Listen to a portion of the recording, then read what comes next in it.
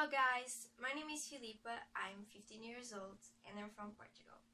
So, the song I choose is from singer Lukas Graham. He has a band consisting of him and five other boys. Lukas Graham was born in Copenhagen, in Denmark, and has Danish nationality. He is 13 years old. He lived in a complicated place and almost all his songs talks about the place where he was born. He released his first song at the age of 24 and has been successful to this day.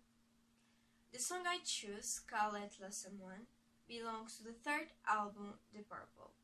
Lukas Graham wrote the song. It was released on September 6, 2018. Uh, it's a pop song. The song talks about how we feel when you love someone and how amazing and wonderful this feeling is. It's also about how everything changes when you love someone. The first time I hear this song was on the computer when I was looking for another song by the same singer. I remember that I didn't like it when I first heard it, but then it kept playing on the radio and I started to like it then. When I read the lyrics, I just love it because it's talk about feelings. So I chose this song for the project. Thank you. When you